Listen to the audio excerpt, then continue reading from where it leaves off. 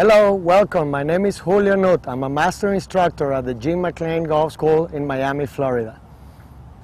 In this clip, I'm going to talk about the impact bag. This is a great tool for golfers to develop the good habit of a correct and a good impact position.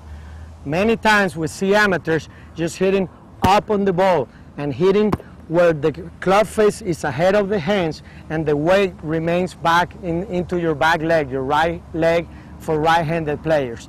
This, this impact bag is really going to teach you the habit of coming to the correct impact position. And if you notice here, my weight is well into my left side.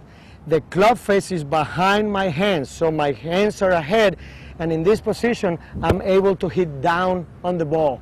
As you repeat this exercise and come here, your muscle memory is going to start developing the habit of hitting down and keeping the hands ahead of the club and it's going to help you get a much better contact with the golf ball. This is Julio Nut at the Jim McLean Golf School.